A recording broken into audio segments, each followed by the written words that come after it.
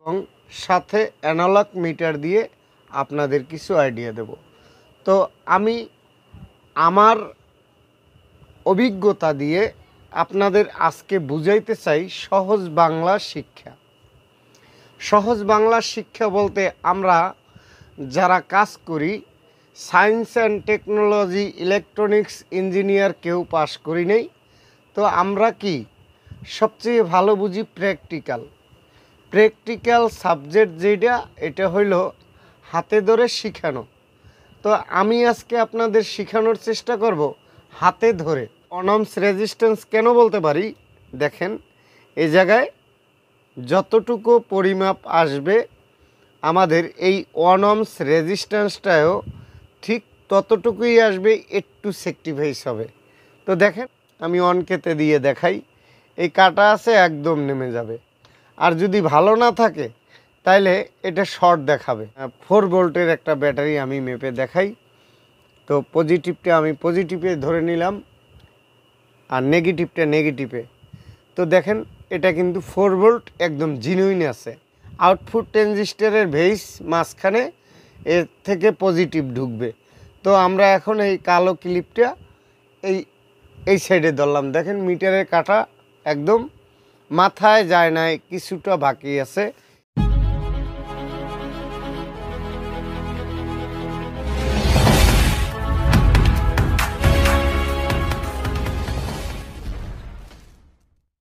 ধারাবাহিকভাবে এভাবে পার্সের মাপ শিখতে পারবেন প্রতি সপ্তাহে একটি ভিডিও। আসসালামু আলাইকুম, প্রিয় দর্শক।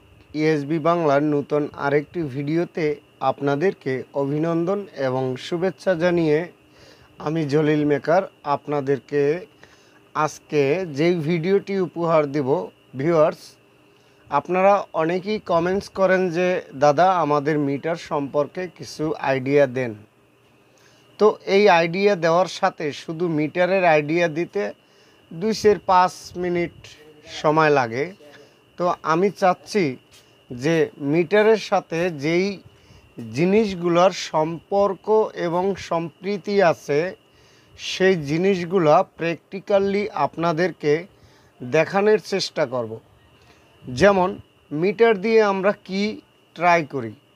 ট্রানজিস্টার পুড়ে গেছে, না ঠিক আছে। আউটপুট ট্রানজিস্টার পুড়ে গেছে, না ঠিক আছে। রেজিস্ট্যান্স পড়ল, কি খারাপ হইল? এবং একটা ভলিউম কি খারাপ হইল, না ভালো হইল? একটা ব্যাটারি ভোল্টেজ কতটুকু থাকলে তা ঠিক থাকে বা কতটুকু থাকলে ঠিক থাকে না, তো সেই বিষয়গুলো আমি অল্প কিছু আপনাদের দেখানোর আইডিয়া দেব।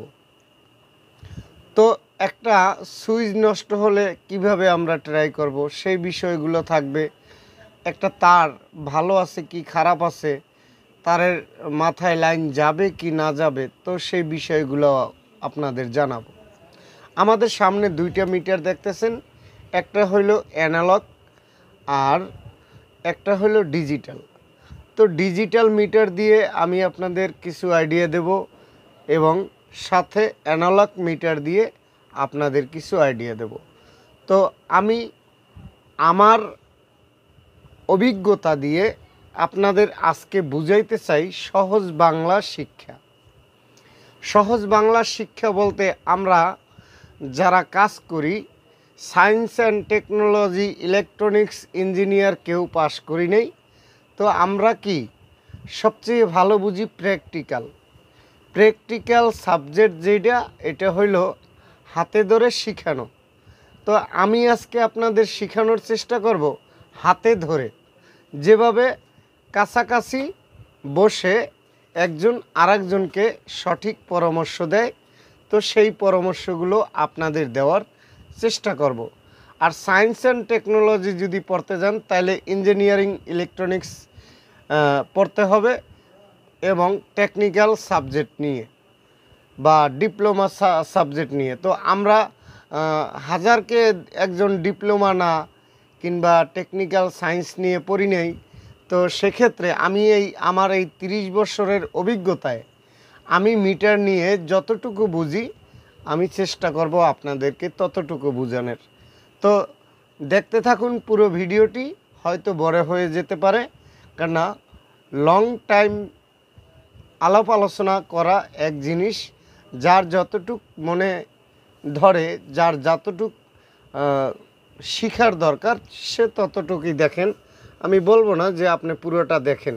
তবে আমি মনে করি যে আপনি যদি পুরোটা দেখেন, তাহলে হয়তো বা আপনার কোনো কাজে আসতে পারে। তো বন্ধুরা, ভিডিও শুরু করতে গেলেই আমাদের প্রথমত চিনতে হবে, এই জিনিসটা কি?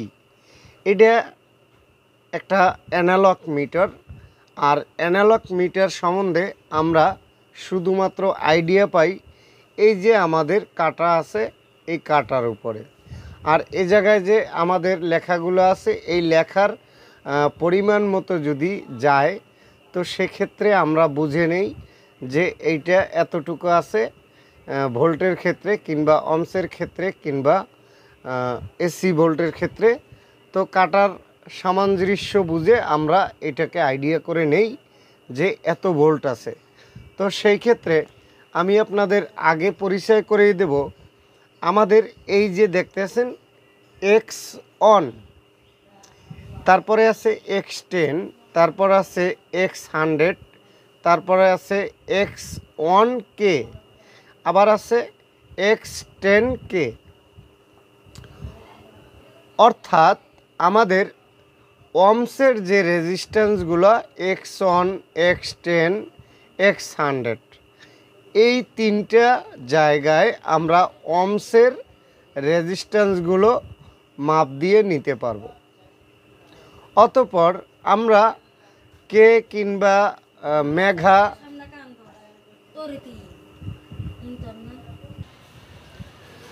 তো এই X one, X ten, X hundred, X one কে, এক্স টেন কে এই জায়গার থেকে আপনি পরিমাপ করতে পারবেন। আমাদের সামনে যে এই ট্রানজিস্টারগুলো আছে কিংবা মসপেটগুলো আছে, ছোট গুড়া ট্রানজিস্টার আছে, এগুলো আপনি এই এক্স টেন বা এক্স ওয়ান এই জায়গার থেকে আপনি পরিমাপ করতে পারবেন। কিংবা ক্যাপাসিটার ভোল্টেজবিহীন মানে যেই ক্যাপাসিটারে ভোল্টেজ নাই, ওই ক্যাপাসিটারটা খারাপ থাকলে আপনি এই X ten, X one, X ওয়ানকে এক্স টেনকে এই এই জায়গাটা দিয়ে এই যে পরিমাপ আছে, এই সাদার থেকে এই পর্যন্ত। এই জায়গায় আমি যে বলছিলাম, X one, X ten, X hundred, এই জায়গায় অমসের একটা লোগো দেওয়া আছে। এটা সংক্ষেপ দেয় আমাদের অমসের রেজিস্ট্যান্সগুলো আমাদের এই জায়গায় মাপতে হবে বা চেক করতে হবে। কথা যদি সব বুঝাইতে যাই তাহলে দুই চার পাঁচ ঘণ্টা হয়ে যাবে এই ভিডিওটা। তো আমি একটু সংক্ষেপে করি, ভিডিও অনেক বড় হতে পারে। এখন এটাকে বুঝাইলাম এইভাবে। আমি আপনাদের practically transistor MOSFET volume volume এটাও কিন্তু রেজিস্ট্যান্স ভলিউমটাও কিন্তু রেজিস্ট্যান্স। এই অন অফ সুইচটা একটা তার যে মাপি, এইভাবে। যেমন তারটা ডিসকানেক্ট করলে অফ হইবে, এই সুইচটাও অফ করলে ডিসকানেক্ট হইবে। অন করলে একাত্র হবে। এবং ক্যাপাসিটার বুস্টার এগুলো যদি শর্ট থাকে, তাহলে ডাইরেক্ট শো করবে। তো আমি সবই প্র্যাকটিক্যালি দেখাইতেছি। আগে আপনাদের যদি মিটার শিখতে হয়, মিটারের মান শিখতে হয় বা মিটার চালানো ড্রাইভ শিখতে হয়। যেমন গাড়ি চালাইলে একটা ড্রাইভ শিখতে হয় না, মিটার চালাইতে হলে আগে আপনার এগুলো বুঝতে হবে।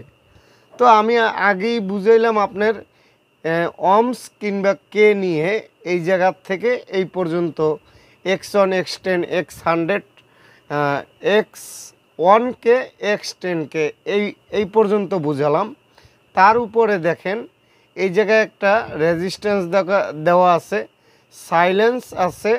এই সাইলেন্সে যদি আমরা এই কাটা রাখি, তাইলে এই জায়গায় একটা ডাক দেবে। মানে একটা সাইলেন্ট দিবে। অবশ্যই শুনতে পারতেছেন এই সাইলেন্টটা এখন আমরা যদি এই জায়গায় বড় ধরনের একটা তার মাপি, এই মাথা, এর থেকে এই মাথা, ঠিক আছে? তাহলে এই জায়গায় এই তারের মাথা যদি এইভাবে ধরি তাহলে এই জায়গায় সাইলেন্ট দেবে। এভাবেও আপনি একটা কিছু মেপে নিতে পারবেন। আচ্ছা একটা রেজিস্ট্যান্স যদি এ জায়গায় ধরি, তাইলে রেজিস্ট্যান্সটা যদি ভালো থাকে, এ জায়গায় সাইলেন্ট দেবে। এর ক্ষেত্রে আপনি আইডিয়া করে নিতে পারবেন যে এইটা ভালো আছে কি খারাপ আছে? এবং আপনি আমাকে প্রশ্ন করতে পারেন যে, দাদা সাইলেন্টটা দিয়েই তো আমরা তাইলে সব বুঝতে পারি। তাইলে এক্স টেন কে এক্স অন কে বা X hundred X ten X one এগুলোর দরকার কি? এডিরও দরকার আছে ভাইয়া। তো সেক্ষেত্রে আমি বলব এডির কেন দরকার আছে, কিসের জন্য দরকার আছে সেই বিষয়টা আপনাদের একটু বলে নেই। যেমন এক্স টেনকে মানে এক্স টেনে আমি দিলাম অমসের মাপে। আমি এই জায়গার থেকে একটা, এই এই যে ট্রানজিস্টারটা, ইনপুট ট্রানজিস্টার, টিভির যে ইনপুট ট্রানজিস্টার থাকে পাওয়ারে, এই ট্রানজিস্টারটা আপনাদের একটু মাপ দিয়ে দেখাই। আমাদের এটা হলো ভেজ ভেজে আমরা সবসময় কালোটা ধরবো। তাই রে, কালোটা অথবা লালটা? পিএন, আনপিএন এগুলো ট্রানজিস্টারের উল্টো ভাব আছে। এই ভেস্টে অনেক সময় পজিটিভ হতে পারে। এই ভেস্টে অনেক সময় নেগেটিভ হতে পারে। যদি ভেজ নেগেটিভ হয়, তো সেক্ষেত্রে ভেজটা নেগেটিভে ধরলে আমাদের বাকি দুইটা পিনে ধরলে শো করবে। দেখেন এই জায়গায় কিন্তু শো করছে। এখন আমি এই মধ্যের পিনটা ধরি, এ জায়গায় কিন্তু শো করছে। এখন আমি যদি এই নেগেটিভ ভেইজে কালো লালটা ধরি মানে পজিটিভ কাটাটা ধরি, তাহলে কিন্তু ভালো থাকলে শো করবে না। এই ট্রানজিস্টারটা যদি ভালো থাকে, তো সেই ক্ষেত্রে শো করবে না। আর যদি ভালো থাকে, তাহলে ভেজে আমি ভেজ যেহেতু ইনপুট ট্রানজিস্টারের নেগেটিভ তো সেক্ষেত্রে আমি এই ভেজে কালোটা ধরলাম। এখন এই বাকি দুই পিনে আমি পজিটিভ ধরলাম। দোনোটা একইভাবে একই জায়গায় উঠতে আছে। এটা আমরা কাটাটা পরিমাপ করি। এখন এই জায়গায় আর একটা কথা আছে। এই মাপটা যদি একদম সরাসরি এইভাবে মাথায় এসে যায়, আমি কাটা মিলাই নিলাম। এইভাবে মাথায় এসে যায়, তখন কিন্তু আমরা ধরে নিতে পারব যে আংশিক শর্ট আছে। শর্ট থাকার কালীন আমাদের কোনো পাওয়ার সাবজেক্টে এই ট্রানজিস্টারটা বা ইনপুট ট্রানজিস্টারটা কাজ করবে না। তো এই হইল আমাদের এই যে ইনপুট ট্রানজিস্টারের কাজ। এখন তো আমি পার্সের পরিমাপগুলো আপনাদের পর্যায়ক্রমে দেখাইতেছি। আগে আমি কথাটা বলছিলাম, মিটারের সাথে পরিচয় করে নেব। তো এই গেল আমাদের এই সাবজেক্ট সাইলেন্ট সাবজেক্ট গেল। তার উপরে দেখতেছেন, লাল সংখ্যায় কিছু লেখা আছে। ওয়ান থাউজেন্ড ওয়াট অর্থাৎ এক হাজার এক হাজার টু টু মানে দুশো পঞ্চাশ ভোল্ট, শুধু পঞ্চাশ ভোল্ট। আবার দশ ভোল্ট। এই কয়টাই হলো এসি মানে এসি বিদ্যুৎটা এক হাজার ভোল্ট হইতে পারে দুশো পঞ্চাশ ভোল্ট হইতে পারে, পঞ্চাশ, শুধু পঞ্চাশ ভোল্ট হইতে পারে, দশ ভোল্ট হইতে পারে। মানে সর্বনিম্ন দশ এবং উপরে এক হাজার ভোল্ট, নিম্নতম এক ভোল্ট এসি এ জায়গায়ও মাপা যাইবে। এখন এই এসি ভোল্টটা হইল আমাদের বৈদ্যুতিক কারেন্ট থেকে আসে। ঘরের ভিতরে যে আমরা বিদ্যুৎটা পাই টু টোয়েন্টি ভোল্ট হিসেবে আমরা বলে থাকি, আসলে দুইশো পঞ্চাশ ভোল্ট। কিন্তু আমাদের ঘরের ভিতরে কনভার্ট হয়ে যখন আসে, তখন বিদ্যুৎটা দুইশো বিশ ভোল্ট থাকে। আর আমরা দুইশো বিশ ভোল্ট হিসেবেই ব্যবহৃত করি। যখন ঘরের বিদ্যুৎ মাপবো তখন কিন্তু আমরা এই দুইশো পঞ্চাশে সিলেক্ট করব। এবং যদি ট্রান্সফরমার ডায়োডবিহীন মানে ডায়োড মায়োড কিছু লাগাই নেই, একটা ট্রান্সফরমার ভোল্টেজ মাপি তাইলে পঞ্চাশ ভোল্টের হইলে আমরা এই জায়গায়, আমরা এই জায়গায় পঞ্চাশে সিলেক্ট করে নেব। যদি বারো ভোল্টের ট্রান্সফরমারগুলো মাপি, তাইলে সেক্ষেত্রে পঞ্চাশ ভোল্টে, কিন্তু নাইন ভোল্ট বা সিক্স ভোল্ট ট্রান্সফরমারগুলো যদি মেপে নেই, তাইলে আমরা এই টেন ভোল্টে সিলেক্ট করে নেব। যদি ফোর ফোরটি ভোল্ট হয়, সেক্ষেত্রে আমাদের এই যে ওয়ান থাউজেন্ড কিংবা এক হাজার, এই জায়গায় সিলেক্ট করে নিতে হবে। এখন আসি, এই সেম সাবজেক্টটাই রয়েছে এই সেডে কিন্তু এইটা এসি এটা হলো ডিসি। ডিসি এক হাজার ভোল্ট, ডিসি দুইশো পঞ্চাশ ভোল্ট, ডিসি পঞ্চাশ ভোল্ট, ডিসি শুধু দশ ভোল্ট। এখন এই জায়গায় যদি আমরা এক হাজার ভোল্ট, পাঁচশো ভোল্ট মাপি তাহলে এই এক হাজার ভোল্টে দিতে হবে। যদি আমরা কোনো ডিসি একশো একশো ভোল্ট বা একশো দশ ভোল্ট, দুইশো ভোল্ট, দুইশো পঞ্চাশ ভোল্ট এর অধিক যাওয়া যাবে না। দুইশো পঞ্চাশ যেহেতু এ জায়গায়, স্কেলে দুইশো পঞ্চাশ থাকলে দুইশো পঞ্চাশের অধিকে যাওয়া যাবে না। তো সেক্ষেত্রে দুইশো পঞ্চাশ সর্বোচ্চ আর সর্বনিম্ন দশ পর্যন্ত এ জায়গায় আমরা এইখানে মেপে নেব, ডিসি ভোল্ট যেটা। তারপরে দেখেন, এ জায়গায় আছে টু পয়েন্ট ফাইভ, শুধু zero point five zero point পঁচিশ এগুলা হইল ইএফডি ইএফডি যদি আমরা কোনো সময় মাপি তাহলে এই সেক্টরটা থেকে এই যে, এই সেক্টর থেকে এই পর্যন্ত আসতে হবে। তো এই হইল আমাদের মিটারের পরিচয়। তো এই পরিচয়টা বলে আপনাদের দুই সের পাঁচ মিনিট কেউ ভিডিও বানিয়ে দেখায় বা শিখায়। কিন্তু আজকে আমাদের শিক্ষাটা থাকবে ক্লাস বাই ক্লাস। প্রথমে আমরা একটা ডিসি, এই মানে সরি এক্স অনে দিয়ে একটা রেজিস্ট্যান্স মাপব। আমাদের এই রেজিস্ট্যান্সের মান হইল ওয়ান অমস ওয়ান অমসের একটা রেজিস্ট্যান্স মাপব। এই ওয়ান অমসের রেজিস্ট্যান্স আর সাথে আমি রাখলাম একটা তার। দেখেন। ওয়ান অমসের রেজিস্ট্যান্স বলতে একদম ডাইরেক্ট কিছুটা সেক্টিফাইস হয়।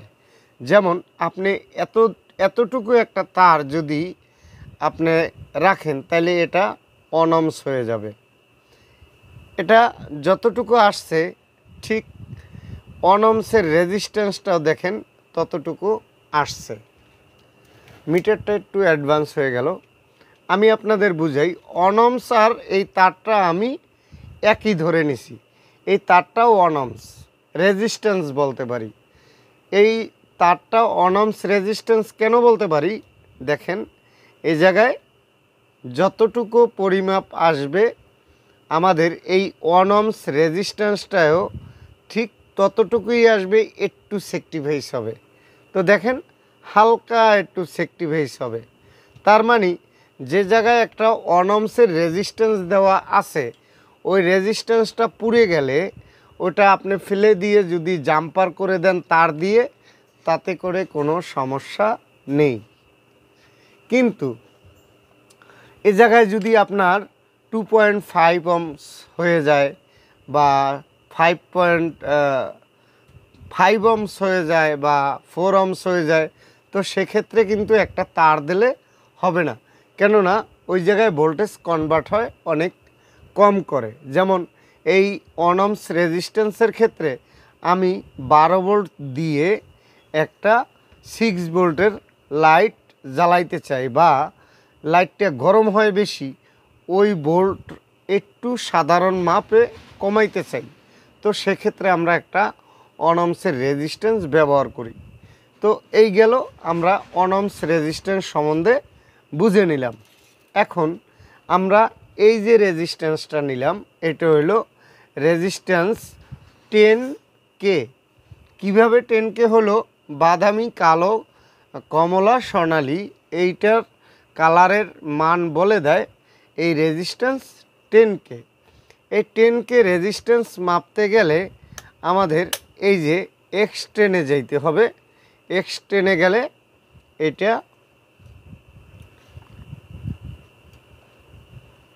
একদম মাথা বরাবর আসছে। যদি এক্স অনে দেই, তাহলে কিন্তু একটু বিপরীত থাকবে। দেখেন, এই জায়গায় কিন্তু হাফ পার্সেন্ট উঠছে। তার মানে যদি আমরা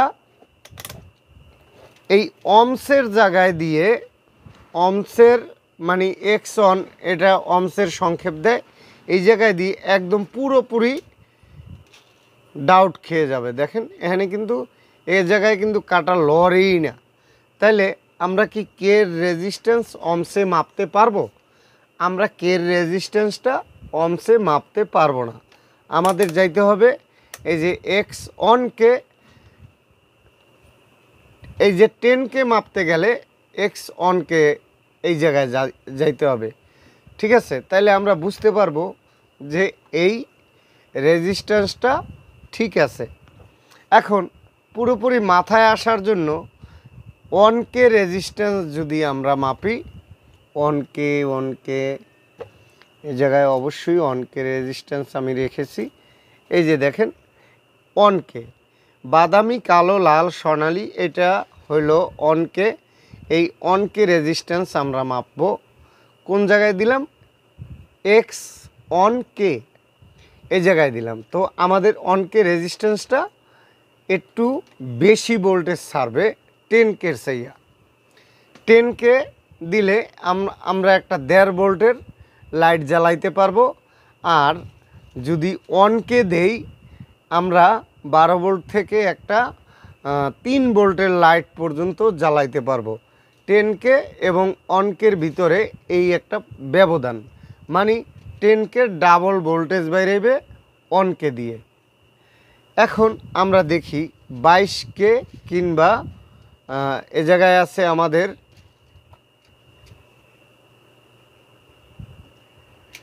টেন অমস এখন টেন অমসটা যদি আমরা কেতে দিয়ে একটু মাপ দেই, এ জায়গায় টেন কেতে দিয়ে মাপ দিলাম, একদম মাথায় আসছে। এখন যদি আমরা অমসের রেজিস্ট্যান্স অমসে দিয়েই মাপ দেই অমসের রেজিস্ট্যান্স আমরা অমসে দিয়েই মাপ দেব। তো সেক্ষেত্রে দেখেন, এটা কিন্তু মাথায় যায় নাই। তার মানে আমাদের এই অমসের জায়গায় দিয়ে অমসের রেজিস্ট্যান্স মাপতে হবে। এটা আমাদের ভালো সূক্ষ্মভাবে বুঝানোর ক্ষমতা রাখে। তো এই জায়গায় এই তিনটে সংখ্যা হইল অমসের, আর দুইটে সংখ্যা হইল কের। আর উপরে যে সাইলেন্ট আছে, এই সাইলেন্টটা দিয়ে আমরা সবই চেক করতে পারি। যেমন তার রেজিস্ট্যান্স সব জায়গায় সিটি বাজবে, এগুলো মুখস্থ বিদ্যা। তো এখন আমি আপনাদের দেখাবো ডায়োড কীভাবে মাপতে হয়। তো ডায়োডটা আপনি মাপ করবেন কেতে দিয়ে। আমি এ জায়গায় এক্স অন কেতে দিলাম। ডায়োড ডায়োড মাপার জন্য। দেখেন, এই কাটা কিন্তু একদম মাথায় আসছে। তো এ জায়গায় আমরা এই যে ডায়োডে একটা সাদা র্যাক আছে, এটা লাল সাইডে ধরবো আর যে সাইডে সাদা র্যাক নাই, কালো, এটা কালো, কালোটায় ধরবো। তো দেখেন, এটা কিন্তু কিছুটা মানে আর কি বাকি আছে, পুরো মাথায় যায় নাই। তো সেক্ষেত্রে আমরা ভেবে নেব এই ডায়োডটা ভালো আছে। কিন্তু পুরোপুরি ভালো আছে, সেই জিনিসটা বুঝতে গেলে আমাদের এই হাতের ক্লিপ দুইটা উল্টো ধরতে হবে। যেমন এই সাদার আগে আমরা লাল ধরছিলাম, এখন কাল সাদার আগে কালোটা ধরবো। যদি এ জায়গায় কাটা না লড়ে, তাইলে আমাদের ডায়োডটা অবশ্যই হান্ড্রেড পারসেন্ট ভালো। এই হলো আমাদের ডায়োটের মাপ। আমি আবারও বলি, এই যে কালো লাল ক্লিপটা আমরা এই সাদার একটার সামনে ধরবো আর কালোটা পিছনে ধরবো। তো দেখেন, এ জায়গায় কিন্তু একদম মাথায় যায় না। এখানে কিন্তু আমি ডাইরেক্ট ধরলে মাথায় যায় আর এ জায়গায় কিন্তু মাথায় যায় না। তার মানে আমরা বুঝতেছি ডায়োডটা ভালো। কিন্তু আমি হান্ড্রেড পারসেন্ট শিওর হব এই সময়ই যখন উল্টো ধরবো, তখন আমাদের ডায়োডে মিটারের কাটা লড়তে পারবে না। এর মানে আমাদের এই ডায়োডটা হান্ড্রেড পারসেন্ট ভালো আছে। এই হইল আমাদের ডায়োডের অরিজিনাল মাপ। এখন আমি এই জায়গার থেকে একটা ক্যাপাসিটার নেব। এই ক্যাপাসিটারটা সাধারণত আমরা মাপ দেব এক্স টেনকে এক্স টেনকে এই জায়গায় মাপ দেব। তো এই জায়গায় মাপ দিলে আমরা প্রথমেই কালোটা এই ক্যাপাসিটারের কালোটায় ধরবো আর লালটা এই যে লাল পজিটিভে ধরবো। যদি ভালো থাকে, তাইলে আমাদের এই যে কাটা আছে, আমি অনকেতে দিয়ে দেখাই। এই কাটা আছে একদম নেমে যাবে। আর যদি ভালো না থাকে, তাইলে এটা শর্ট দেখাবে। তো দেখেন, আমাদের কাটা উঠার পরে কিন্তু নেমে যাচ্ছে। একটা বাড়ি দিয়ে নেমে যাচ্ছে। এর মানে ক্যাপাসিটার যদি আপনার বাড়ি দিয়ে একদম পিছনের দিকে আসে তাহলে ক্যাপাসিটার ধরে নিতে হবে, হান্ড্রেড পারসেন্ট ভালো আছে। এখন আমরা আসি, এই সুইচটা কীভাবে আমরা পরিমাপ করব? যখন এই অন অফ করা আছে, এর মানে আমাদের সংযোগটা দেওয়া আছে দেওয়া আছে। এখন যদি আমরা সুইচিংটা অফ করি তাহলে কিন্তু ভিতর থেকে ডিসকানেক্ট হয়েছে, সুইচের ভিতর থেকে ডিসকানেক্ট হয়েছে, এখন বন্ধ আছে। যদি আমরা চালু করি, তাইলে আমাদের এটা আবার চালু হয়ে গেছে। এভাবে আমরা মিটারের থেকে সুইচটা মেপে নিতে পারব। আচ্ছা এখন আমরা এসি ভোল্টেজ সম্বন্ধে আপনাদের কিছু আইডিয়া দেব। যেমন, আমি আমার ঘরের ভোল্টেজটা মাপবো, তো সেক্ষেত্রে কোন জায়গায় দিতে হবে? আমার ঘরের ভোল্টেজ মাপতে হলে দুইশো পঞ্চাশ এসি ভোল্টে দিতে হবে। তো আমি মাল্টিফ্লাকে টু টোয়েন্টি ভোল্ট ডাইরেক্ট নিয়ে নিচ্ছি। তো যদি আমাদের, এই জায়গায় দেখেন, একদম মাথায় কিন্তু দুইশো পঞ্চাশ এসি লেখা আছে।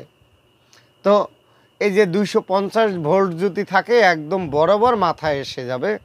তো আমি এই এসি ভোল্টেজটা মেপে নিলাম।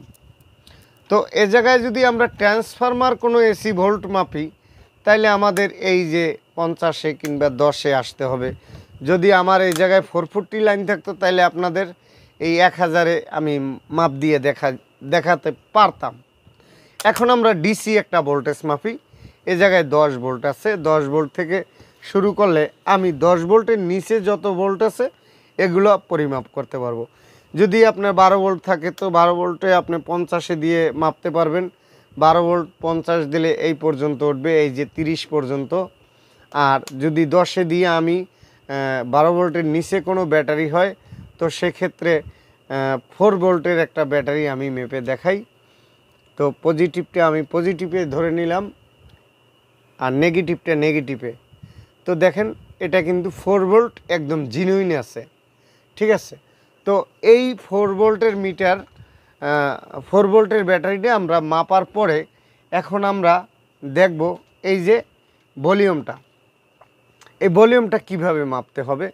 ভলিউমটা আমরা সব সময় এই যে মেডেলিস্টে এই কাটাটা ধরবো নেগেটিভটা আর এই, এইটা ধরবো যে কোনো আর একটা পিনে তারপরে আমরা এই জায়গায়, যেহেতু কে ভলিউমটা কিন্তু কে ভলিউম অমসেরও আছে, কেরও আছে। তো আমার এই ভলিউমটা যেহেতু কে, আমি এখন এই ভলিউমটা এই জায়গার থেকে হালকা করে আপ ডাউন করব মানে হাইলো করব। হাইলো করলে আমাদের এই জায়গায় মিটারের কাটার দিকে আপনারা ফলো করবেন। দেখেন, এটা এটা কিন্তু কমছে। যেমন resistance one K ten K five K এভাবে রেজিস্ট্যান্স আছে না? তো এই ভলিউমটা দিয়ে কিন্তু আমরা ওয়ান কে করিয়ে নিতে পারি টেন কে করিয়ে নিতে পারি, এরকম। তো এই যে বাড়ান কমান যায়, এটা হলো ভলিউম। যেমন একটা রেজিস্ট্যান্সে দিয়ে আমরা অডিও পার্স করলাম, যদি কোনো কম মানে একশোকে একটা রেজিস্ট্যান্স হয়, তো সেক্ষেত্রে অডিওটা কম যাবে। যদি অনকে হয় সরাসরি অডিওটা ঢুকে যাবে। যদি টেন কে হয় সরাসরি আহ, আরেকটু বেশি কম ঢুকে যাবে। তো এইভাবে এই ভলিউম ভলিউমটা কমানো এই জায়গায় একশো কে থেকে আপনি ওয়ান কে পর্যন্ত আনতে পারবেন। যখন ভলিউমটা বেশি বাড়ে তখন মনে করবেন যে ওয়ান কে পরিমাণ আইয়া গেছে। আর যখন কমে যাবে একদম তখন মনে করবেন যে আপনার একশো কে পর্যন্ত হয়ে গেছে। তো এই হলো ভলিউমের মাপ এবং ট্রানজিস্টারের যে কত মাপ আছে, তো সেই বিষয় নিয়ে আমি তো আপনাদের ট্রানজিস্টারের একটা মাপ দেখাইছি। তো আরও একটা ট্রানজিস্টারের মাপ দেখাই। গুরুয়া ট্রানজিস্টারের ক্ষেত্রে। আমাদের এই ট্রানজিস্টারের নাম্বারটা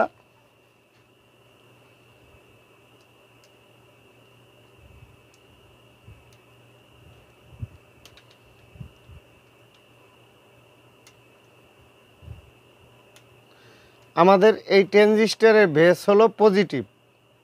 ট্রানজিস্টারের নাম্বারটা যাই থাক কিন্তু ট্রানজিস্টারের ভেস যে পজিটিভ, এইটা আমি কীভাবে বুঝে নিলাম?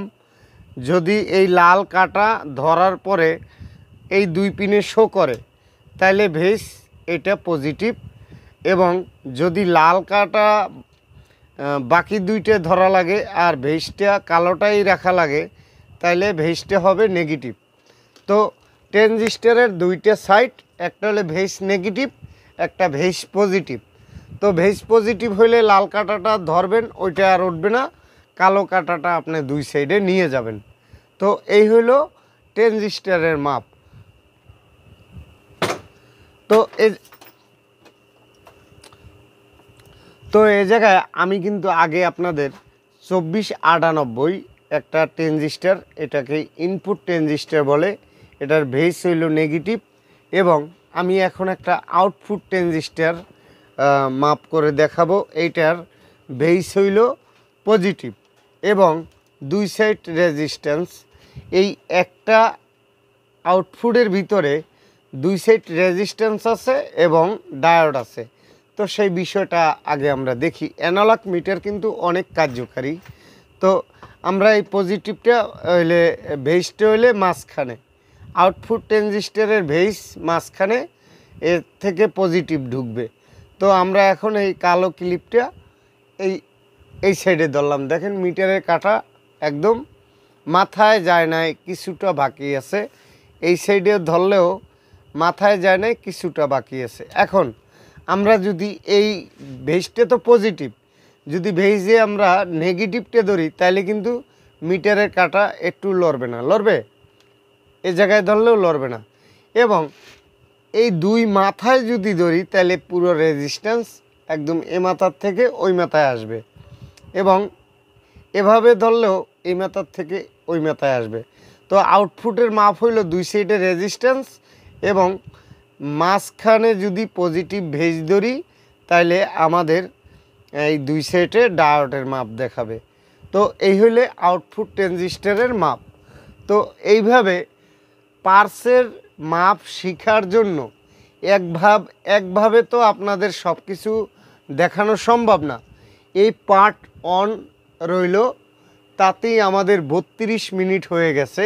আর যদি আমরা আরও কিছু বুঝাইতে যাই, তাইলে আপনাদের আরও সময় দিতে হবে যেই সময়গুলো অগণিত সময়।